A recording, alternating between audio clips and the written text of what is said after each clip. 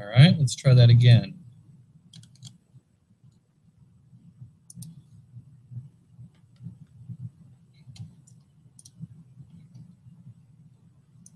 Let me disconnect and try that again. All right, go ahead and call him back. So Diana, when when he was talking, is it about the same level as when I'm talking? Okay. Howdy. How's that? Video on now? No, sir. Interesting. Tiana, you're clicking the video call button, right? Yeah. Okay. Sisters, turn off video.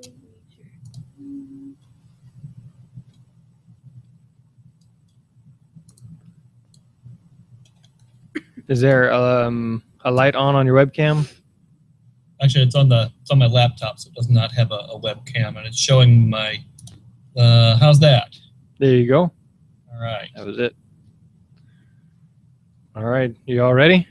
I hope so. All right, Jasmine, you started that one there. Yeah.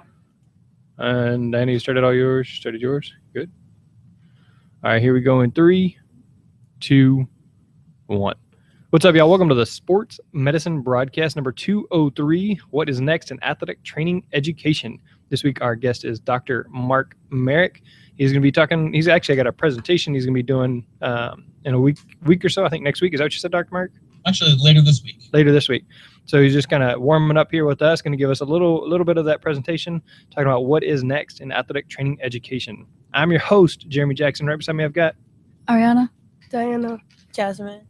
Tiana. All right. Do You want to join our conversation at sportsmedicinebroadcast.com, and this one will be C A A T E because Dr. Merrick is the president of the Commission on Accreditation of Athletic Training Education, or CAATE, as they like to say. So it's C A A T E.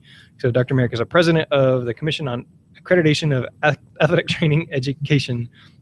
Um, Dr. Merrick, you previously spoke with us on the podcast at uh, U of H. Well, kind of you spoke to the crowd and I, and I recorded it, and so that's episode number 161. If you want to check out his previous presentation and see how it lines up with what he's got today. Quickly, um, my official hydration equipment of the sports medicine broadcast is Frio Hydration. You want to email them if you want to get a quote. Make sure you mention the sports medicine broadcast, and they give you a little special discount. Without much further ado, Tiana's got our first question for Dr. Merrick. Dr. Merrick, give us a brief rundown of the entry level master's movement. Okay, well, that's a really short question to a really big issue. Um, as you're probably all aware, last May, the uh, the boards of the members of the Strategic Alliance all voted to make a move for athletic training education at the professional level to the master's entry. if you're not keeping track of all the different levels of, of education in AT, the CAATE actually accredits professional programs, which lead to eligibility for the BOC exam. We accredit post-professional programs, and post-professional programs are for people who are already BOC credential holders and already athletic trainers. And we also accredit residencies. The professional programs will all be moving to the master's degree, and the uh, excuse me, the deadline on that will be fall of 2022. And we've previously announced that, so that's not new information. But the way that that works is programs will no longer be able to enroll undergraduate students in their athletic training education programs as of fall of 2022. Um, as we are moving forward towards that date, you know, we're less than a year out now since the decision uh, was made. So we've got a lot of work ahead of us in terms of what that's going to look like. And that's some things that we've been working on here at the CAATE. Um, I think the ECE from NATA has also been working on a, a, lot of support materials relative to that for programs. But some things that you can expect to see are some changes in the CAATE accreditation standards that will reflect uh, really what's truly graduate education. So the process for doing that is not complete. So we don't have all those answers yet, but we're getting a lot closer. The standards committee met uh, literally just last week in Chicago working on a draft of some of the things that they're doing. And we have a, a, commission call later this week where we'll be talking with the standards committee about their vision on, on some of those things and what some of those current standards uh, that they're going to be proposing are going to look like. Whenever the CAATE adopts new standards, those standards will go through a, an approval process. that involves things like open comment uh, with the public. So any of the things that we talk about here today that are conceptual will at some point in the, the future, in some cases the relatively near future, will go out for comment for people to, to give us some feedback and, and let us know their thoughts on those. And then we'll take that comment and use it to help us refine what actually will go into the final version of the standards. Sometimes it actually takes us multiple rounds of open comment before we get to the final version. That's not unusual for us at all. So that's sort of the, the process from here. In terms of things you might expect, we at the CAATE have been talking for some time about some of the things that we believe, uh, and you'll see those, I think, reflected in the standards. I don't want to get too far ahead of those standards proposals because I honestly haven't seen them yet because they're still in process. But we've said for a while that the CAATE values creativity and excellence in education. We value things like programmatic autonomy. We think athletic trainers need to have a strong scientific foundational knowledge, knowledge that's going to put us on equal footing with other members of the healthcare team. Uh, we are in favor of programs that produce athletic trainers who want athletic training as a career. We want them to be prepared to be a, good member of the interprofessional healthcare team, and those are some things that are coming. Um, along that line, there are some things that are standard in healthcare education, which haven't been standard in athletic education or athletic training education as uh, in the existing standards. And some of those include things like the Institute of Medicine core competencies for healthcare professionals. So those are the, some of the kinds of things we've been saying for several years that we believe should be a part of athletic training education, and our standards committee has been working on that.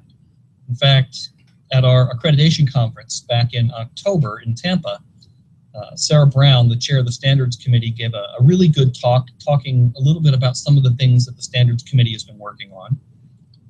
And some of those things included outcomes. Right now, everybody's probably familiar with Standard 11, although you might not know it by that name. It's the 70% pass rate standard. And you know, in addition to pass rates, there are a lot of other standards or a lot of other outcomes that programs really need to be looking at to be able to show that they're offering a quality program. So some things we talked about would include uh, reporting of things like graduation rates and retention rates and placement rates.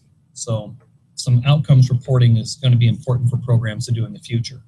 We've talked a little bit about preparatory knowledge and trying to have athletic trainers have that similar background footing as our healthcare peers. We've talked a little bit about professional knowledge, and I'm sure I'll get to that a little bit more here later in the in this podcast. But our professional knowledge has to adapt to reflect the standard of care that athletic trainers are already providing. And in a lot of cases, athletic trainers do things that our current standards don't yet require from a, a national basis, but that are happening in isolated pockets here and there. I think we'll probably see some changes in clinical education. You know, we've talked for a while about athletic trainers would benefit from having a period of immersive clinical experience where you're doing clinicals on a full-time basis as a student rather than just seeing athletic training from one o'clock to five o'clock in the afternoon and thinking that's what the career looks like. We've talked a little bit about institutional alignment in the past. And you know, that's one that's a little bit near and dear to me. When you look across the spectrum of athletic training education programs, it has been 20 years really since the board of directors said that athletic training education programs need to be housed with other healthcare programs at your institution. But here we are 20 years later, and that's still a very small minority of programs that are there. And one of the things that I found in my role, in addition to being the president of Acadia, I'm the program director at Ohio State. Um, here I am fortunate enough to be housed in a college of medicine and in a school of health and rehab sciences with other, other professions like PT and OT, respiratory therapy, radiologic science, HIMSS, medical dietetics, um, a lot of different other healthcare professions. There's a lot of cultural things that happen in healthcare education that a lot of our students and a lot of our programs don't get to experience if they don't have connections with other healthcare units. so I would envision you know the, the future standards, taking institutional alignment head on, and, and looking at ways that we can try to change that. So, those are some of the kinds of things that we've been talking about for a while. Um, a lot of work is underway there, but none of that stuff is yet set in stone, and it won't be until we have a proposal for those from the standards committee, and we vet that, go through some focus groups, and then sending that out for an open comment period that I would anticipate would happen probably late spring or early summer this year. Gotcha. All right, so we're going to quickly welcome Dr. Josh Yellen to the broadcast. He was given a test, so he had to join us late. Dr. Yellen, say hello. Hello, everybody. How are you? Hi, Dr. Merrick. How are you doing? I'm doing great, Josh. How are you? I'm doing fine. I think this is an outstanding conversation, and um, thanks for agreeing to be a part of the SMB. Always happy to have a dialogue. And I, I think that sometimes that doesn't happen often enough. And I think a lot of folks have this impression that the CAATE comes up with stuff and imposes it and doesn't engage in, in these kinds of conversations. So these are really important to us. So if I can ask you a question along those lines, you know, I jumped in about, um, you know, obviously athletic training being part of the health education, healthcare education topography, if you will.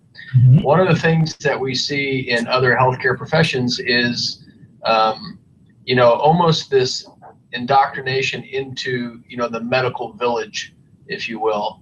Um, and so a lot of a lot of professions use a white coat ceremony to do that.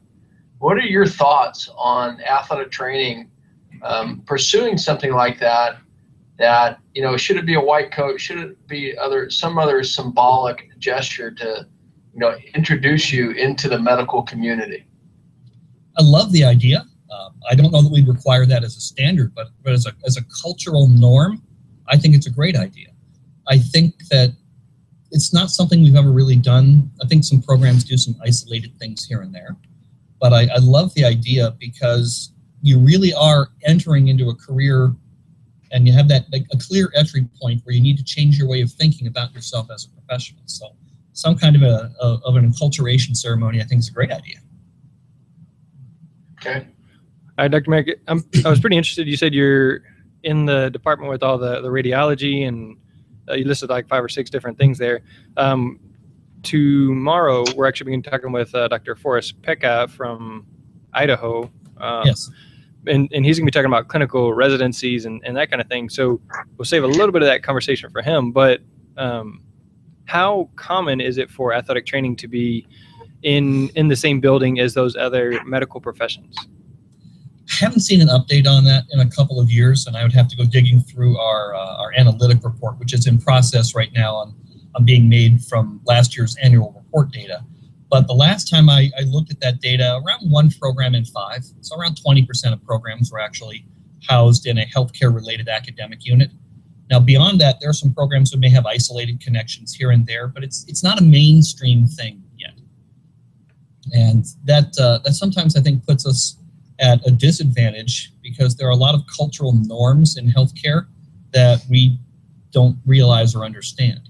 And I, I, think that the opportunity to be a part of that village that Dr. Yellen mentioned is really a, a big piece of the vision for the future. In fact, that's one of the things that we as a strategic alliance between the CAATE and the NATA and Board of Certification and the NATA Foundation have talked about that athletic trainers are healthcare providers, and we need to have preparation and a culture that, that really prepares us for a mainstream role in healthcare. So those are part of the, the elements that become important in that mainstream kind of role and vision for ourselves. I I went through an internship program, and I'm you know you see stuff on Facebook. People are mad about the entry level masters, and that's not the conversation. It's done. We're we're moving forward. And so I'm actually having been you know talking with Josh and, and uh, Mark over there at U of H, I'm really impressed with what is going into athletic training education now because they have such an impressive background of knowledge before they leave the field. You know, some of the people gripe about, well, they don't ever put in the, the same hours that we do. They don't they don't get to interact with the athletes the same way we do or we did. You know, they don't spend all those hours in the athletic training room um, that we did. Yes, but I personally know that my background education was not anywhere close to what these kids are coming out with. They're going to learn the hands-on practical part So let's give them a chance to learn that. And I know at, at U of H, they're doing a great job of saying, hey, go out to the marathon. Hey, go out to this tournament. Hey, go do this, go do that. So you can get some of that practical volunteer experience. So I'm I'm really impressed, and I look forward to seeing what it is because you know, like I said, this is my 12th year in the profession, and I came out of an internship with a non-accredited program. So it, it really is interesting to see where we are going forward. So, You know, I've uh, I'm about twice as long out as you. This is my 25th year as a, as a certified athletic trainer, and I am insanely jealous of what our students get today that we didn't have when I was a student. You know, my first day on my first job back in the early 90s, I was in an outpatient clinic where I was seeing patients in the clinic in the morning and out of out of the high school in the afternoon. And the first patient came in, and I'm partnered up with somebody and doing the evaluation. And they asked me to write a SOAP note. And in 1992, I had never heard of a SOAP note um, because it wasn't part of my athletic training education because we didn't do that in the athletics model. Um, so I felt naked and exposed as a provider because something everybody else went, well, what do you mean you've never heard of SOAP? Um, I had no clue. There's a lot of things, I, I, I use that as an example, not because we don't know SOAP notes, because we've come so very far in a lot of the things that we do, but there's still a long way for us to go. Um, interprofessional education, for example, is one of the five Institute of Medicine core competencies that every healthcare provider should have. This isn't a new idea. The IOM came out with those core competencies 13 years ago. Yet, very few athletic training programs do any kind of formalized IPE. It's expanding, and NATA has a, a really good IPE interest group that, that Tony Breitbach leads and, and does a really good job with that. Man, we got a long way to go where we are learning about each other, with each other, and from each other. And if we're going to practice as an interprofessional healthcare team, then we have to train as an interprofessional healthcare team, and we have to understand and embrace each other's roles and figure out how we each add to that Venn diagram of care that that patient needs. There's some things that we can do and do really, really well, but there's some things that we don't do and other members of the team do. And until we, we get to know each other, that's something that I think we're going to continue to struggle with. We're still a little too isolated. Yeah, Mark, can I ask you a question from CAATE's standpoint? Um, you know, it is one of those things that silos are very dangerous. And if in athletic training, if we want to be part of medicine, we want to act medicine, behave medicine, speak medicine, and start to engage in a lot of that IPE and, and the um, interprofessional competencies, et cetera. Why, in your opinion, has it taken athletic training longer to you know accept this? Because if we look at other medical professions, and I I include PT, OT, uh, even kinesiotherapy, chiropractic in kind of that same you know model as athletic training, with the exception of the fact that athletic training is probably from a historical perspective the new kid on the block, really kind of entering in the 70s, etc. What else have you seen as being roadblocks to us entering into this? You know, like we'll just call it the medical village. I think there are fewer external roadblocks than we think, and I think there are more internal roadblocks than we think. You know, externally as a profession, we always consider ourselves in from the viewpoint of other peer healthcare professions we sometimes see as as competitors in the marketplace. Well, this profession might be a barrier to us in our practice act, or they're never going to let us do this, or we're looking for some kind of external affirmation or external endorsement of who we are and what we do. And the reality is, there's really nobody out there to do that. We had a talk at our accreditation conference that was done by uh, John Schultz, who's one of the physician members of the uh, of the commission. And in Dr. Schultz's talk, he really talked about what is this level two provider thing, and he talked about the, the taxonomy and the way that that works.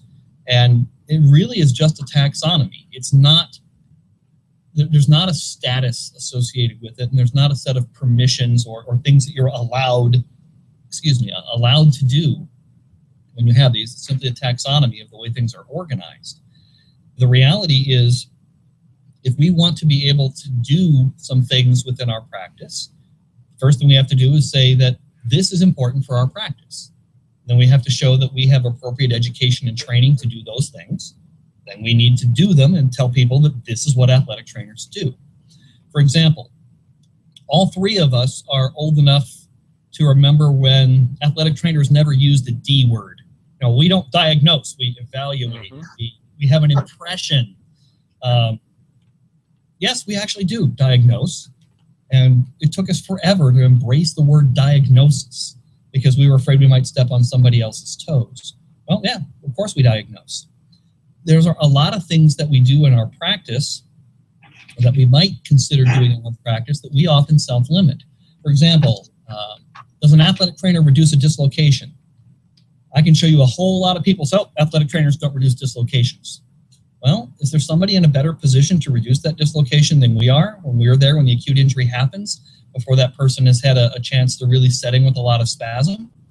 Now, you need to be trained to do it. You need to be in communication with your physician. But why are those not things that we do?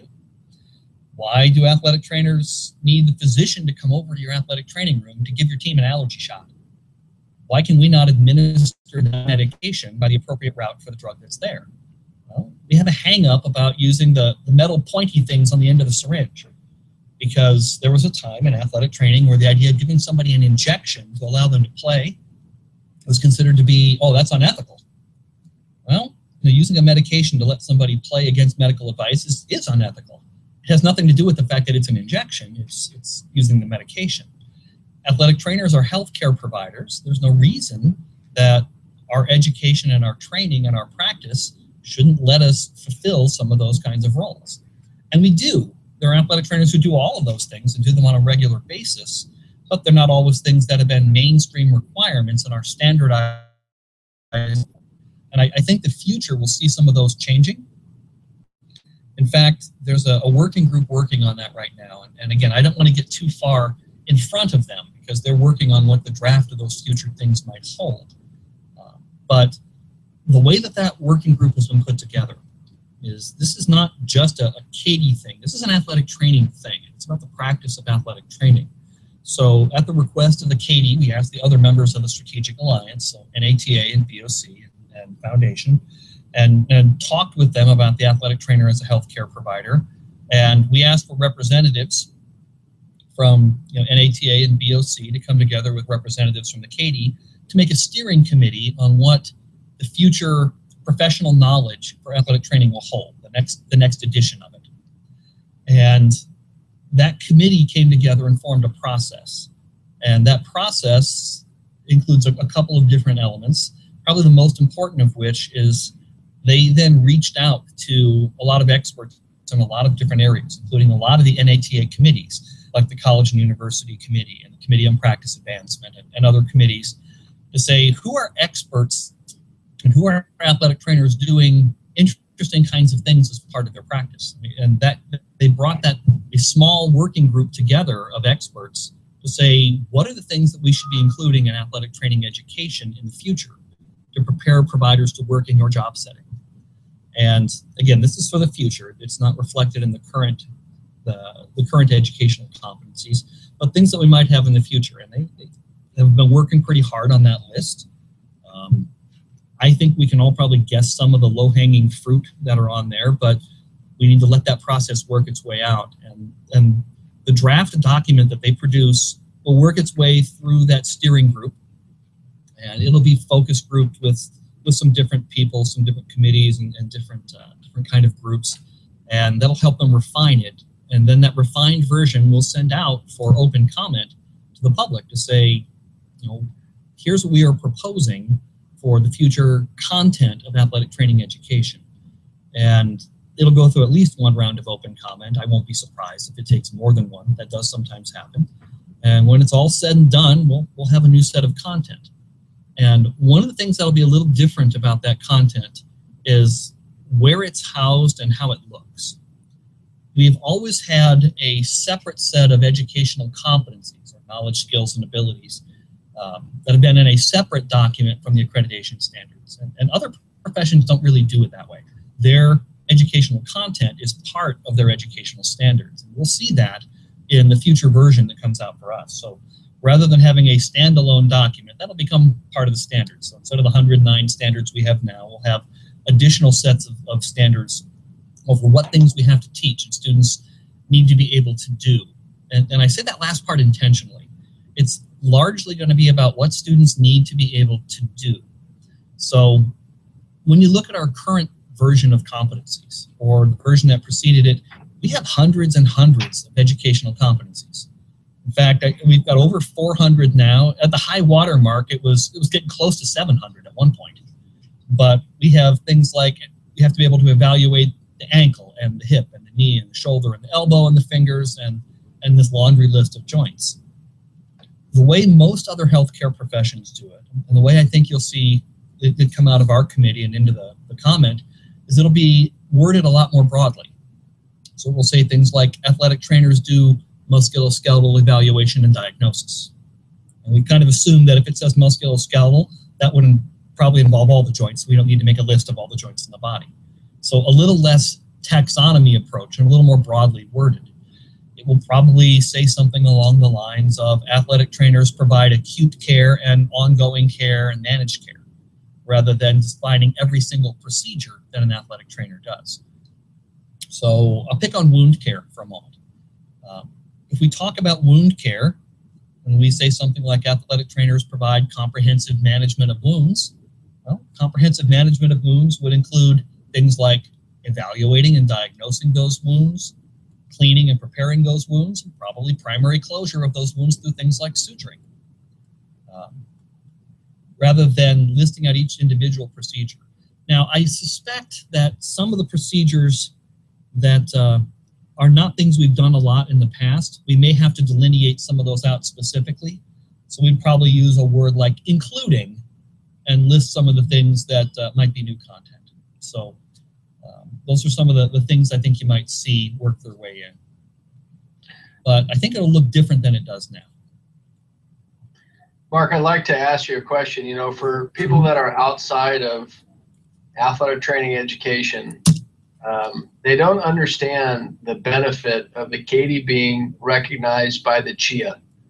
And, and so, can you elaborate on that for all those that are listening? Can you can you elaborate on why that was such a big step for the CAATE to achieve that? CHEA recognition is functionally accreditation of an accreditor.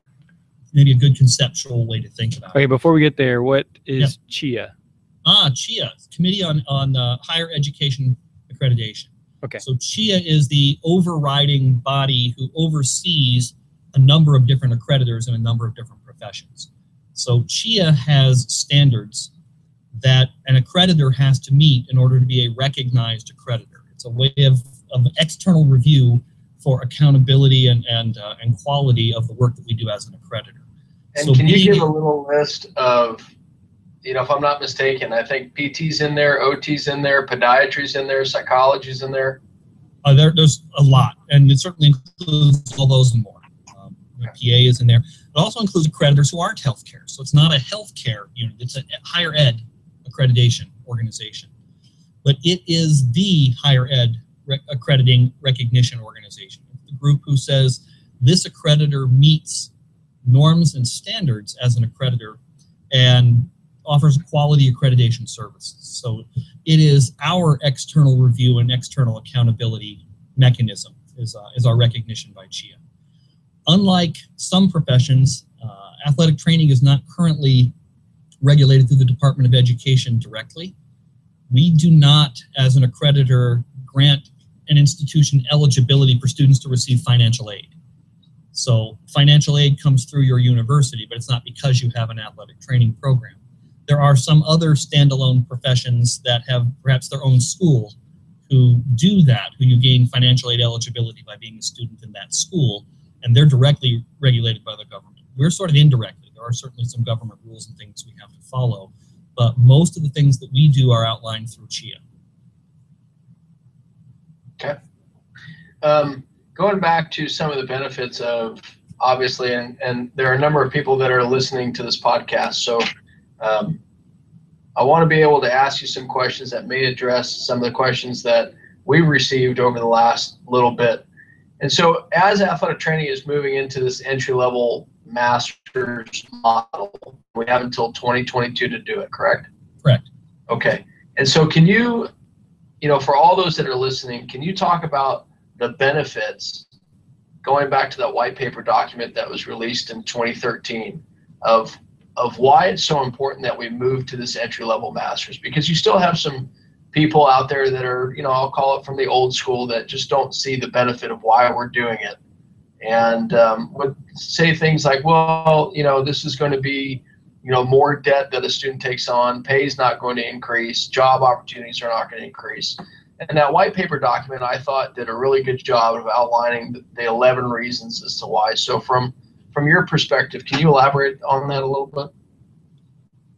Well, certainly the white paper is point, and, and it was meant as a starting point for the conversation, not a definitive be all, end all set of rationale. And I, I think the, the conversation evolved on beyond that. But there are some really good pieces that are in there that I think are pretty important. Among some of the others is that you're seeing a general trend moving this direction across a lot of, of areas in healthcare. And to position ourselves where we need to be for the future, this was a piece of that step. But educationally, there's a lot of important pieces too. Right now, I run an undergraduate athletic training education program. It's a little different than, than the one Josh runs at U of H. But when my students come in, like most of the students in the US, uh, you know, we are probably 340-ish of the 375 programs that are out there are undergraduate. And those students are balancing an undergraduate education, balancing having to take their geology class and their Western Civ class and their performing arts class and all the other general education or liberal studies requirements that they have, plus their athletic training education, plus their educational content all at the same time. Which means in a typical semester, my students might have a history of rock and roll class, a class uh, in, in, fine arts, uh, another class that's a, a some a general healthcare thing that everybody in our school takes, plus their AT curriculum. So they're really spread in a lot of different directions. One of the real advantages that I'm looking forward to is when students are in a dedicated graduate program, all they're doing really is athletic training education. You define that curriculum for the most part, and they're really in a much more immersive environment. And having the opportunity to, to talk with some of my colleagues in my own school who have seen their degree programs change from undergraduate to graduate entry, their comments are they wish they'd have done it 10 years earlier. Because the ability to have that student who's focused entirely on what they're doing in professional training, I think makes a huge difference. They also comment to me all the time about the benefit it is to have the maturity of the graduate student versus the undergraduate student.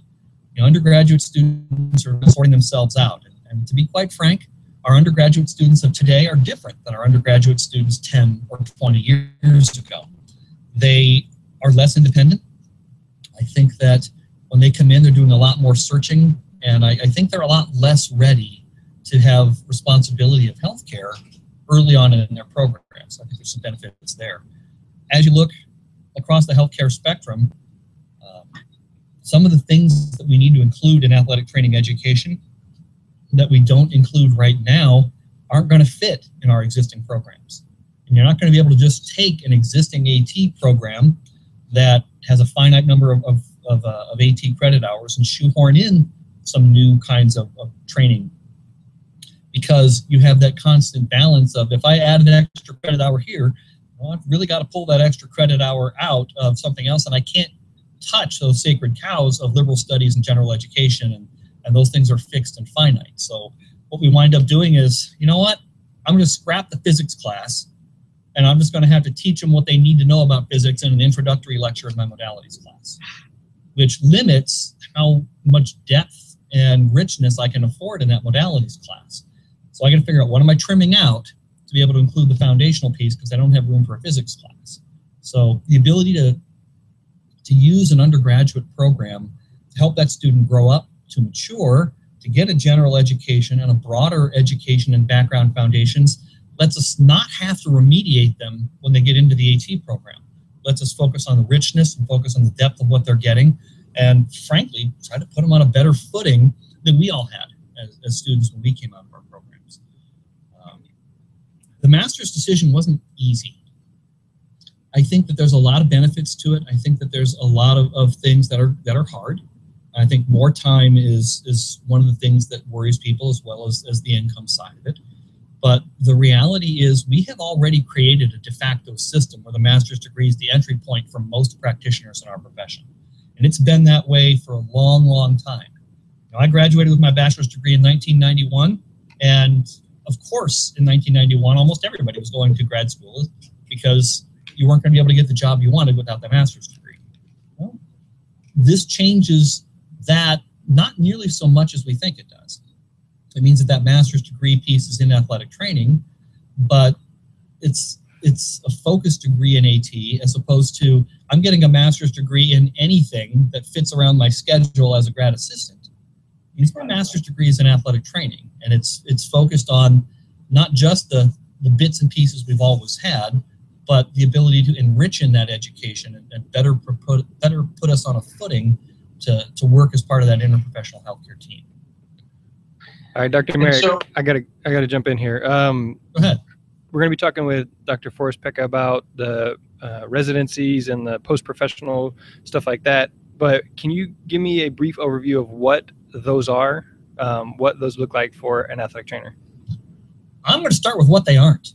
Okay. Residencies are not the new grad assistantship. And I, I want to be really, really clear about what I think residencies are and what I think the commission sees them are. Residencies are not a transition to practice experience.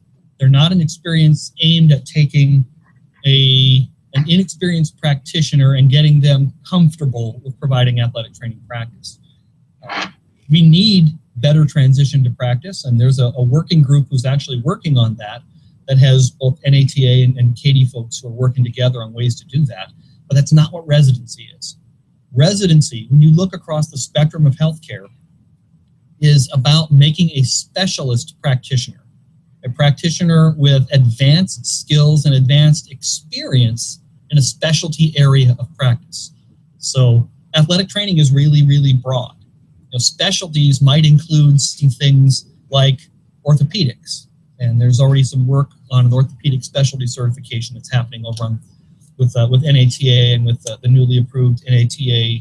Uh, NATA recently approved the, the creation of the board of creation of a BAT, the Board of Athletic Training Specialties, and those specialty groups will figure out what the specialty areas are.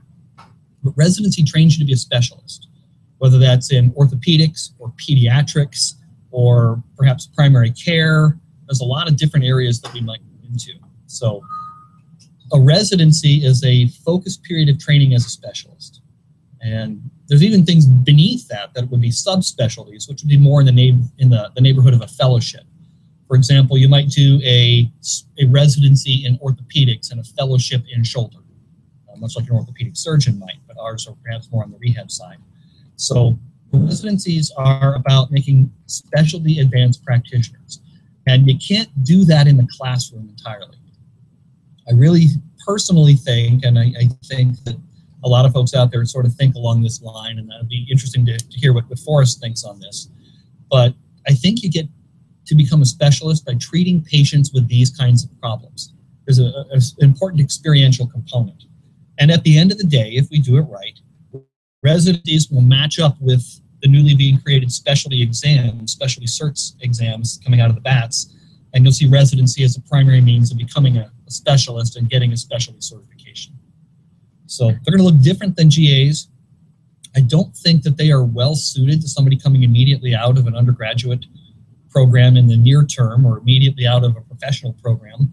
I think they're best for people who have practiced for a couple of years to then go back and become a specialist. But I can certainly say that some people want to might go directly into one, but again, not as a transition to practice, as a means of becoming a specialist. And so, how do you see those residency programs driving future education needs? So, do you see, like, for instance, one of the things that we've talked about before was obviously there, you know, there's more DAT programs coming up and online, and I think that's meeting a certain need. How, how do you feel like this is going to drive higher education in athletic training?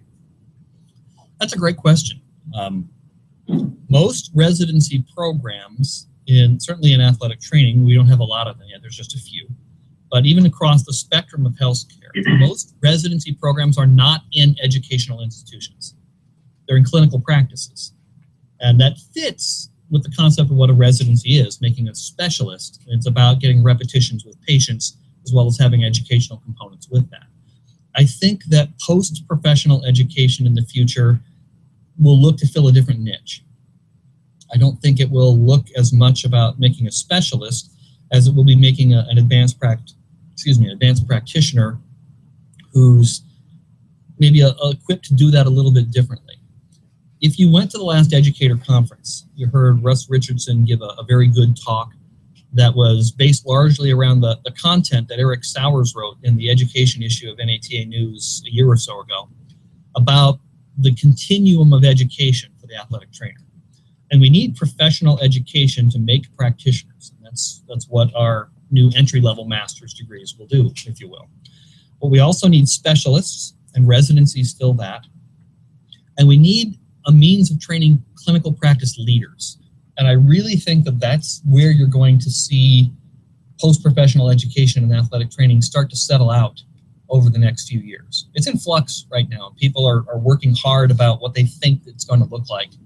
Um, I think that the marketplace is going to settle that out far faster than anything that we could do. But advanced practice leaders are, are people who can help create advanced practice to happen not on an individual one-on-one with my patient level, but on the system level.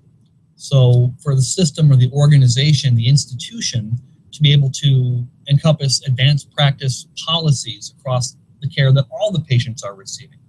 So I would envision those kinds of degrees and advanced practice leaders being very good for people who want to go into leadership roles within athletic training healthcare. So a head athletic trainer, a director of athletic training services, director of a residency, those kinds of things I, I think would be a, a, better fit for what that looks like. The uh, the other side of post-professional education are for the people who want to be academics. And if you want to be a scholar, excuse me, that looks a little different than being an advanced practice leader. And I don't know that the DAT or whatever we, we see in the post-professional side of athletic training helps you to get to be a scholar. I think there's a traditional pathway for that through the more academic doctorates, through the PhD, the EDD, those types of degrees, where you're learning research skills and how to design and implement scholarly work and, and really to become the steward of the profession. The Carnegie Institution talked about being a steward of profession in association with, uh, with the academic doctorate. So a little bit different role there. But if you ask me, I think the single biggest question for our future is how does post-professional education evolve? And I, I think some other healthcare professions didn't leave room for post-professional education in their model. For example, if we look at, at our colleagues in physical therapy, they went directly to an entry-level doctoral degree. And by doing so, the only real mechanism by which to do post-professional things are to do practice-based things with residencies and fellowships, or to go get your PhD and become a scholar. There's no place for that clinical practice leader. I think nursing has uh, has done a little more interesting job. They have a doctor of nursing practice degree that is out there that sort of fits this bill, and I, I suspect that we'll see athletic training evolve more that direction. But that's going to be more of a bottom up than a top down evolution as I see it. And so, uh, keeping theme with you know what you're talking about in terms of advanced practice, moving to entry level masters, all these different things. You know, you touched on a little bit about how it's going to change the you know outlook of employment. How do you think that's going to drive the private sector in terms of reimbursements? I don't think it'll be an overnight change but I don't think we ever get to change without it. And I, I think that that's, that's something I've felt really a, a long time. I think that some conversations that we've had with our physician partners have, have helped me form my, my opinion on this. When I talk with our docs who are on the CAATE and, and some other physicians I work with, they often say things like, if you guys could do this, it would make you so much more valuable in my practice. And some of those skills we don't currently have. You know, we tend to define athletic training in a lot of different ways. We define it procedurally. Um, I recently saw a definition that a program had defining us as a physical medicine profession, which, which I don't agree with. Um, if I were to define us, I would define us as a primary care profession. And if you're really bored and looking for something to do, go look at the American Academy of Family Practice's definition of primary care. So if you go to AAFP's website, they've got a section on policies and you can look up primary care there. And you read their definition of primary care. If you stick your finger over the word physician, you come out of there saying that's an athletic trainer. It's about comprehensive care, advocating for the patient. It's about being first contact care, care across the continuum uh, of, of the, the, spectrum of care that that patient needs, about integrating with and, and referring with other professionals. It talks about primary care being delivered by both physician and non physician primary care professions. And the ones that specifically lists there are physician assistant and nurse practitioner. I, I think that verifying our skill set as a primary care practitioner makes us a lot more valuable to our physician partners who frankly are looking for some people to help fill those roles. So, physician assistant was largely envisioned to be a primary care role, but most PAs are coming out of PA school and seeing the money available in the specialty areas, and they're going right into specialty practice in orthopedics or cardiology and those kinds of areas. There's still a, a primary care gap where we can help fill a, an existing need with things that are small skill additions to our overall skill set. Your overall skill set as an athletic trainer is you treat whatever just walked in the door. Whether that's a guy with a hangnail or somebody with a blown ACL or somebody in the middle of an acute appendicitis. Whatever walked in the door is what we treat. And we have the overall framework to do that very well, but we're missing a couple of key tools in our tool set. And I, I think that as we see the expansion of our practice in future years, it's going to be because of, of adding those tools. And I think that makes us more valuable. Um, I recently had a, a conversation with a, a, couple of athletic trainers about what they think the future might hold. And, and, one of them made an observation that I hadn't given a lot of thought to, but I, I, it kind of makes sense imagine an athletic trainer with a little bit of advanced primary care skill sets that we, we don't use right now in an urgent care. Right. And you know, in that kind of a model, imagine the, the value that you represent to the owners of that urgent care uh, in terms of the kind of patients you can treat and the kind of patients you can manage. And even at an expanded salary compared to where we are now, we're still a pretty good value being a comprehensive provider. I think there's a great opportunity for us to look into that market. I think working side by side with our physicians and their practices is a great opportunity. I think that there are a lot of things that you'll see evolve in athletics over the next 10 to 15 years that look different than you see now, particularly with the, the recent move to some protected autonomy for healthcare providers in the athletics arena. You know, we're not answerable to coaches in the current NCAA paradigm. And, you know, I, I think that NCAA is moving in a direction where they are going to envision a more medical model for the care of their patients. And I think that we need to have the tool set to get there. So all of those things I think help with the future economics of athletic trainers. But again, it's not an overnight thing. But I don't know how we ever get to those better economics without us having all the tools we need to fill the role that, that we really need to fill. And so as we keep moving forward and we start closing the gap, you brought up two areas, primary care and urgent care. And I, I want to be able to replace urgent care with emergency medicine. And so do you start to see going back to, and I'll, you know, obviously let Forrest expand on this, but do you start to see more residency programs in the physician extender model? Do you start to see more residency programs in emergency medicine? Do you start to see more residency programs in uh, other areas that are kind of outside of our bread and butter, like orthopedics? The short answer to that is yes to everything. Um, one of the things that, that we're doing at the CAATE and that NATA has, has really made a strong push on recently is to start to think of how we talk about ourselves. And instead of saying, I'm a secondary school athletic trainer, I'm a college athletic trainer. I'm a physician extender. Start talking about, I'm an athletic trainer in a physician practice. I'm an athletic trainer at a university. I'm an athletic trainer in an emergency medicine setting and, and leveraging our brand identity there a little bit. But I think you will see creative people do creative things. And I think the marketplace is going to tell us where the residencies are going to come. If you look at the growth of physical therapy residencies, there were a couple and they trickled in, then the floodgate opened, and that curve really spiked up pretty quickly with quite a few. And the specialty areas of practice in that profession expanded into a lot of other areas as creative people said, you know what, we can practice in this setting, and here's the pieces that we need to do it. And you've now seen specialty areas crop up in physical therapy practice in lots of areas, even including women's health, that you probably never would have imagined when they first came out with, with those. I, I would expect a similar kind of thing in athletic training. Once people figure out that, wait a minute, you can do this, well, I can use you in this setting.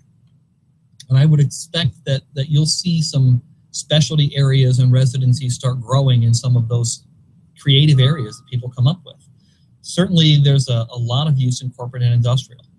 Um, and you know, working with Committee on Practice Advancement, talking with some of the, the creative folks there, doing some of the things that they're doing, you, you look at them and go, I'd have never imagined that coming out of my basic undergraduate athletic training program, but I see the fit and I see how we can be valuable to those kinds of patients.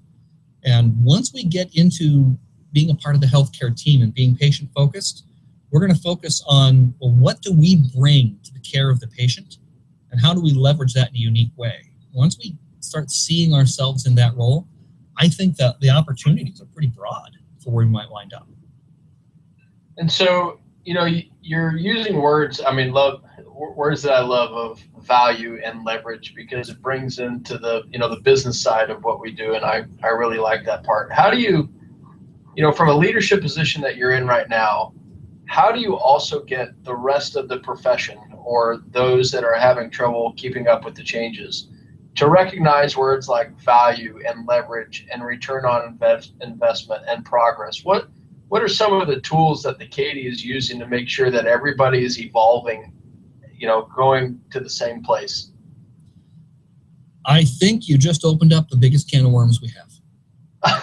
I, I do. I think that our biggest barrier to our future is looking backward and not looking forward. And it's very hard for some people to see the future, see the opportunities for change and how they can fit within them. Particular, particularly when we come out of a culture where we have this athletic trainers can't mindset.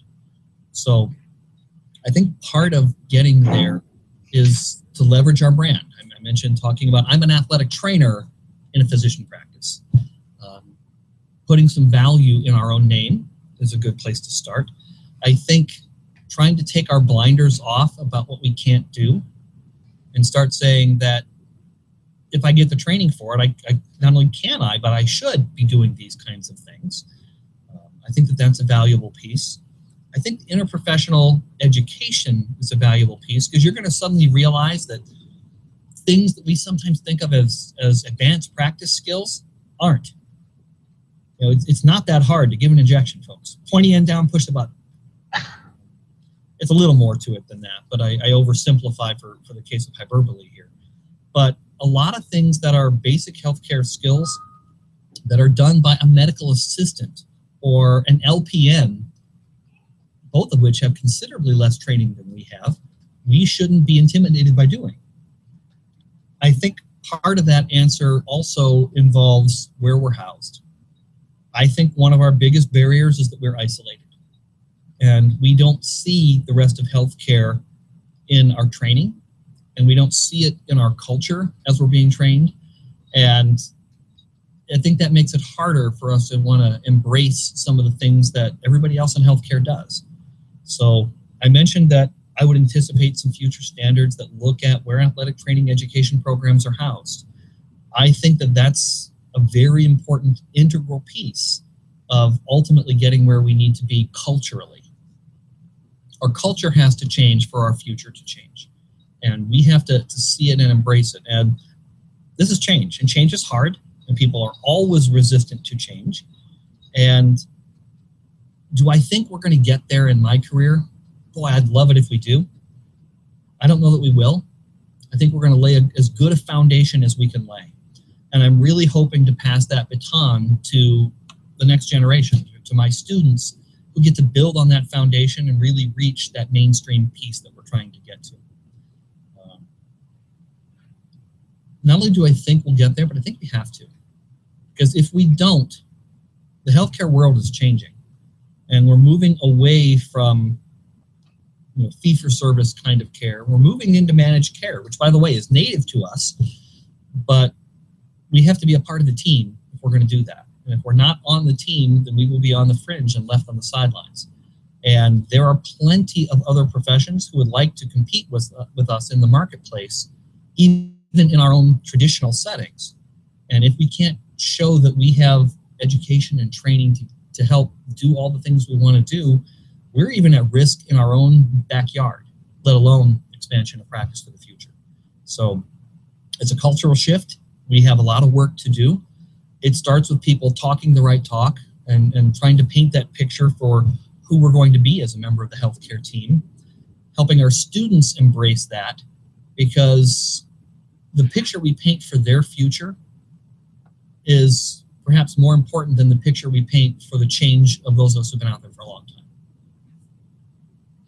You know, um, some of the specialists or adjuncts that I use in my program are a physical therapist, a physician, a psychologist, and a registered dietitian. Without fail, whenever they teach a class for me, they always say that, wow, I didn't realize that athletic trainers needed to know all of these different things that they're teaching and engaging in. And one of the areas that always comes up is how do the athletic trainer, the athletic training students get exposed to this? And then inevitably it goes down to you know, clinical education hours. And so one of the conversations that I have with my medical director, who's an incredible advocate and uh, you know just an amazing person for us, is when he was in medical school, the magic number was 80.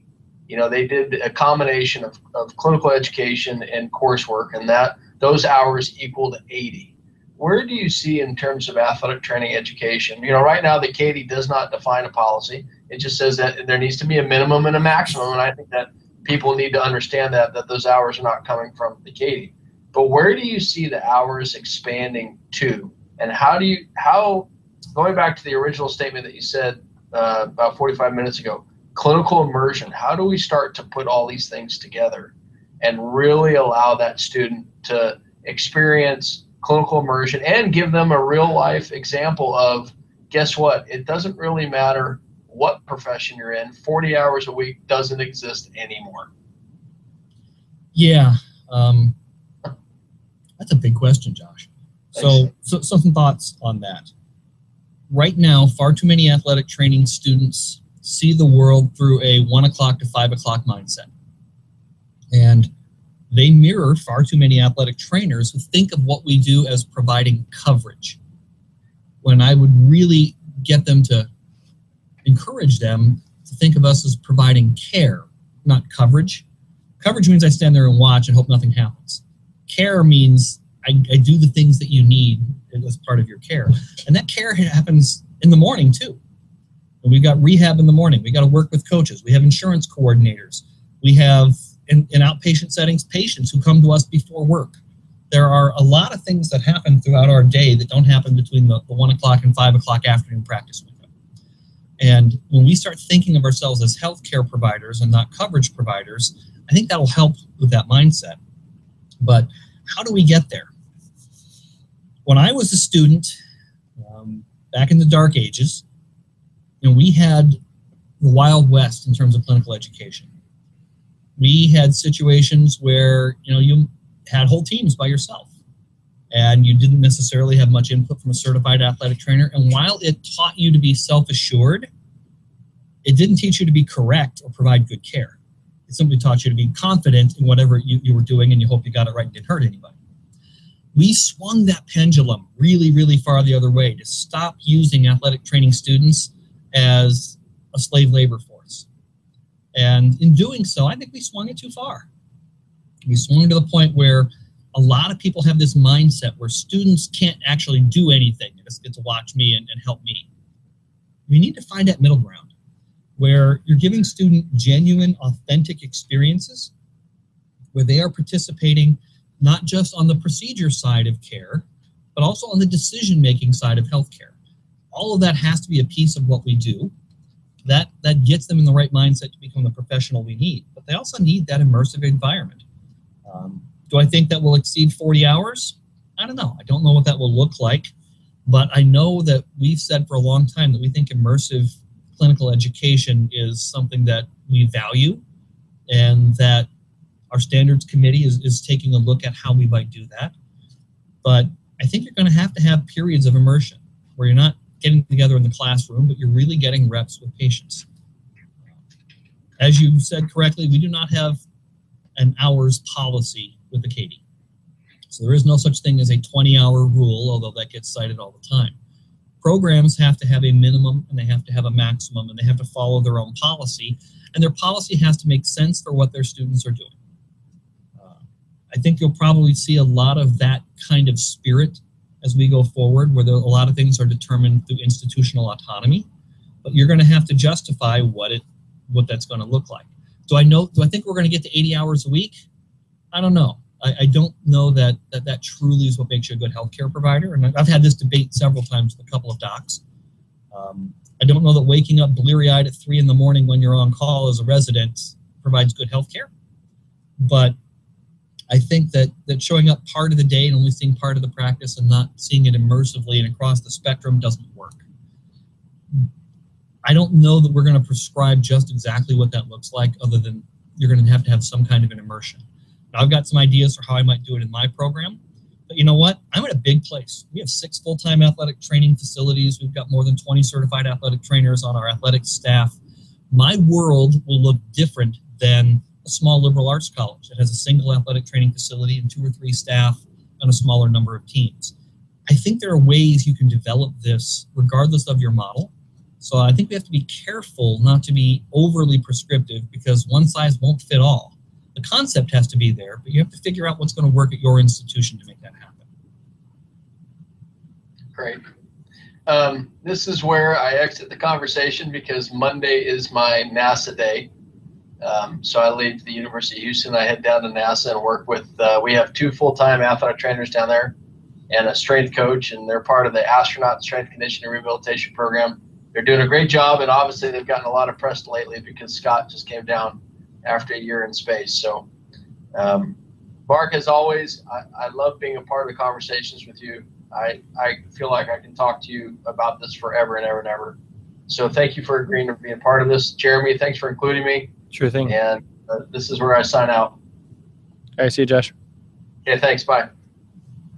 All right, so Dr. Merrick, um, I think at the beginning you had mentioned a town hall meeting. Did you say you had a town hall meeting coming up? Uh, we, as a as the CAATE, we talk at a couple of the district meetings where we're going to have large amounts of educators. So uh, the GLATA meeting, the Great Lakes Athletic Trainers Association District 4 meeting is coming up at the end of this week. So I'm going to be uh, flying off to GLATA on Wednesday and delivering a, the CAATE update at that talk uh, as, as part of that meeting. I'm also going to be part of a roundtable discussion and the student programming um, a few other folks are going to talk a little bit about some educational matters as well. But we talk in a number of the district meetings. We don't always get every district meeting every year, um, but we, we try to get out there as often as we can. We also talk at our accreditation conference. We're usually available and, and try to do some programming through the educators conference or through the NATA meeting as well in June. All right. Um, one of the questions from the chat room here, Carlos asks, and this is something that I've seen in some of the, the comments in the like the secondary schools athletic trainer group. Mhm. Um, with the all the different jobs that athletic trainers may find themselves in, is there going to be a point where they have to stop calling themselves athletic trainers? Because you know, if we're getting all these specializations and and that kind of thing, then when when do we go back to what we define ourselves as? That's a great question. So I would ask you, what is an athletic trainer? And I think that we're not one thing. You know, we have athletic trainers who come out who work in the secondary school setting, and I was a secondary school athletic trainer before I went back and, and did the academic side of my career. Um, Do I think that we will use all of our tool sets in every setting? And the answer is no. I think the entry-level professional coming out needs to have a full toolbox. And you're going to find yourself in some settings where you use more skills um, in one area than in another. But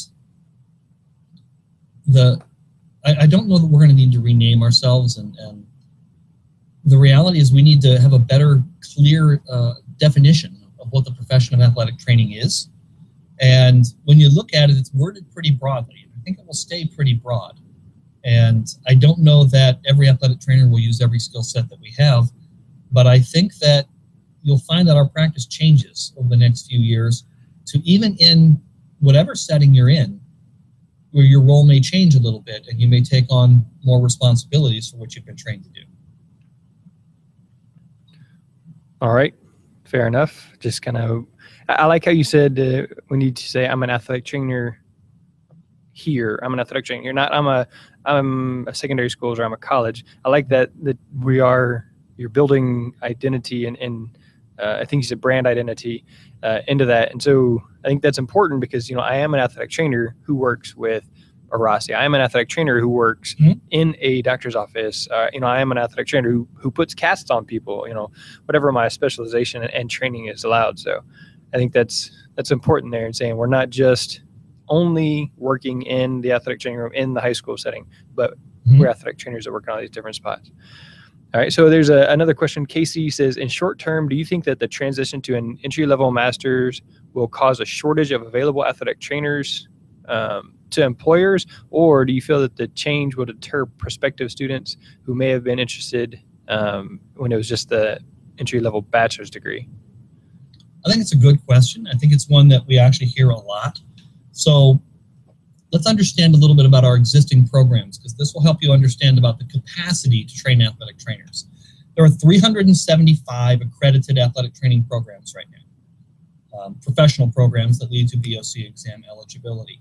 That number is always in flux. So we lose a few programs who close each year, we gain some new. Um, that number has been continually increasing over the last few years. I think that it's likely with the transition that we'll see an overall decline in the number of programs. So I, I think that's a reasonable expectation to have. It's hard to project accurately what that might look like.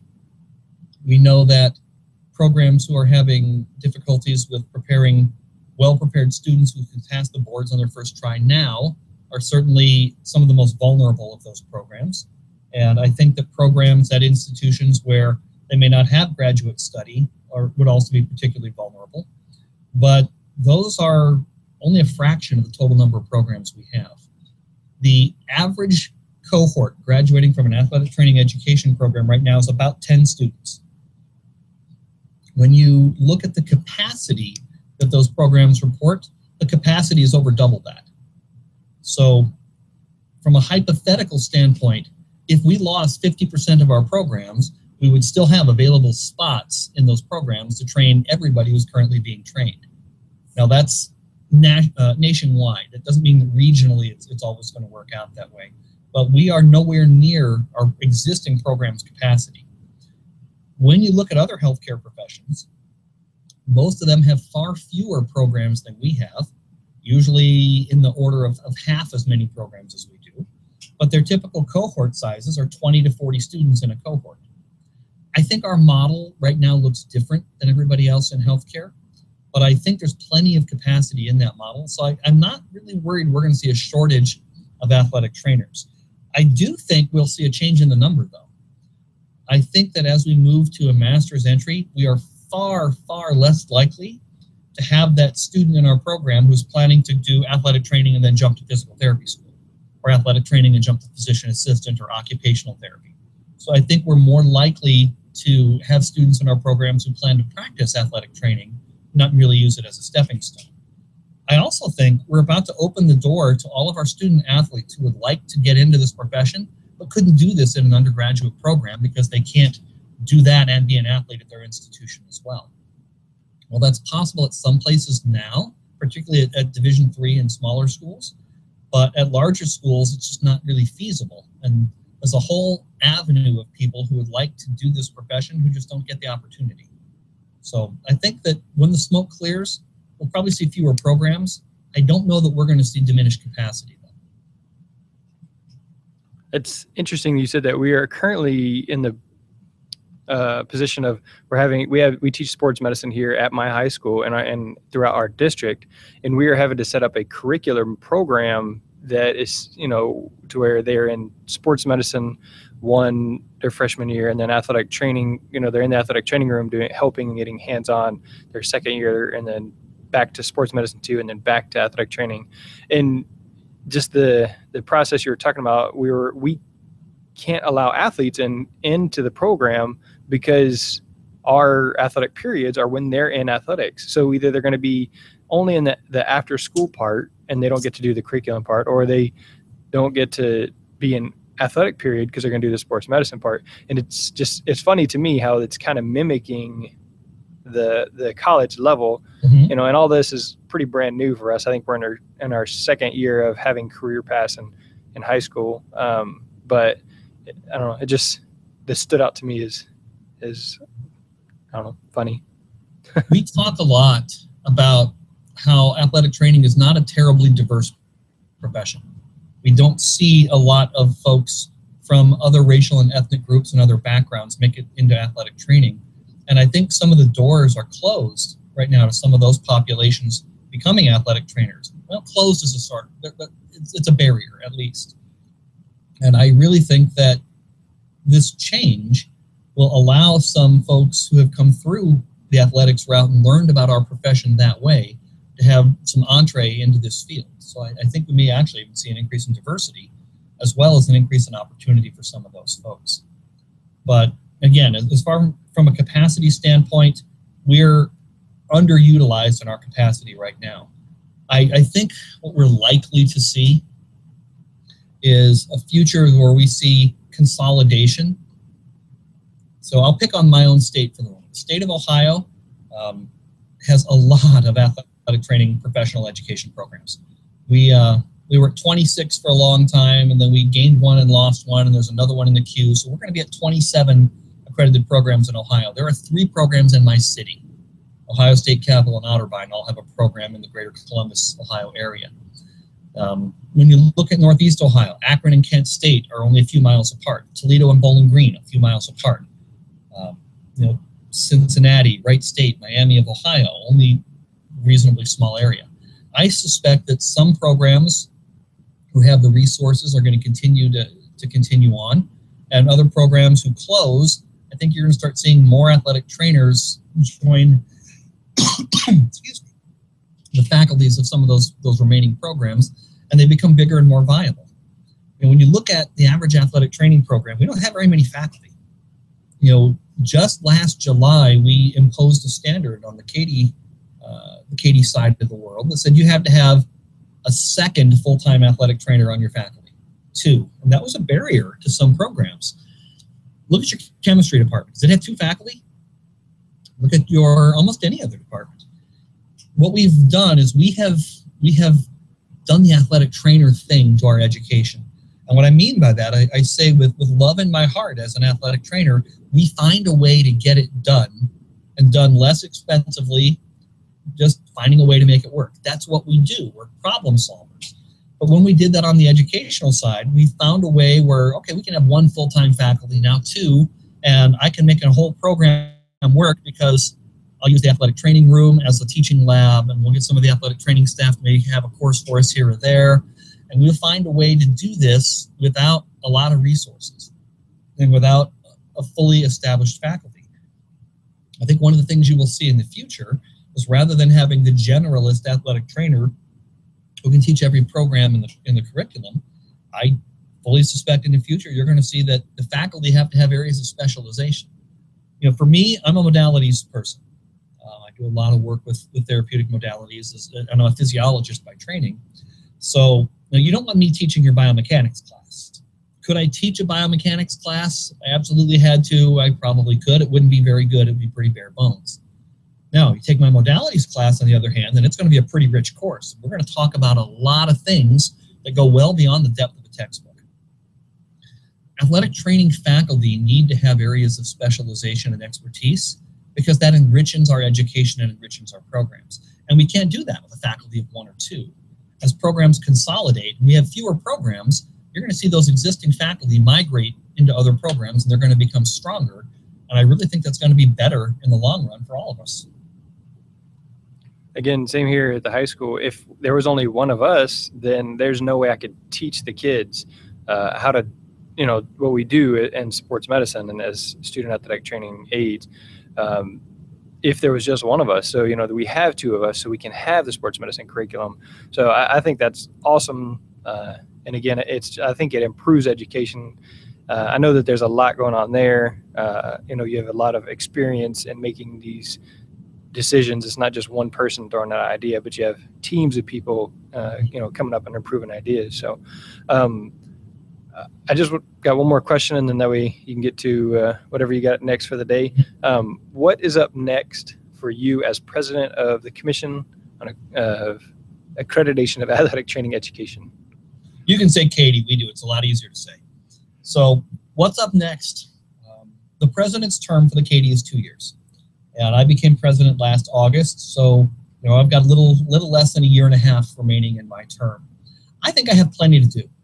Um, between the degree change and seeing what future standards are going to look like in future educational content, I think that's going to keep me full completely through my presidential term and and probably will keep the CAATE very busy even into the next term, which is uh, which is Leslie uh, Taylor from Texas Tech will become the next president. She's our president elect. So I don't know that we have a lot of new initiatives that are going to be going on other than the things I've already talked about. I think professional post-professional education needs to get sorted out.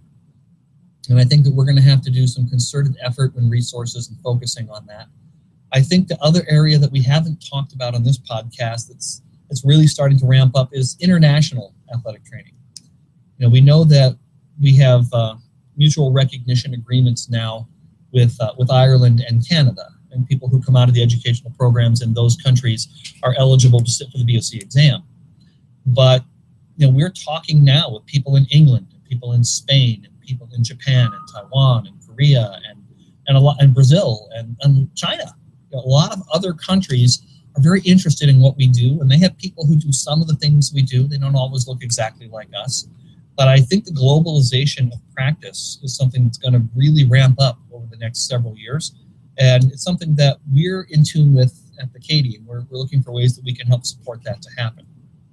So you know, in terms of things we haven't talked about, that's probably the biggest one that's still out there. That's pretty cool. I didn't know that uh, international AT was was one of the topics. So maybe at some point later on, either you or, like you said, the next president, I can have come on talk about uh, the international athletic training, uh, them being allowed to be taking the the BOC.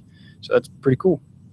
Well, the World Federation of Athletic Training and Therapy, WFAT, if you will, is sort of the the member organization that, that helps promote that internationally, and it's supported pretty well by NATA, and NATA has an international committee, and, and we're working on some international things, and BOC has worked on it. So it's not just a CAATE thing; it's it's everybody is sort of getting there. So that might be a, a great topic for a future podcast. Very cool. Very interesting. All right. Uh, so, Dr. Mark Merrick, if somebody wants to get a hold of you, find out more, um, or maybe see if you want to come speak at one of their meetings, then how would they best do that? Well, the best way is to email me through my CAATE email address. And it's pretty simple. It's merrick at caate.net.